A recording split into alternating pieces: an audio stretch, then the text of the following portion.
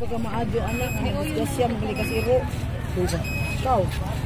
dito dito dito ay kana pa doon sa mga nila doon sa Dali ko dito duty niya.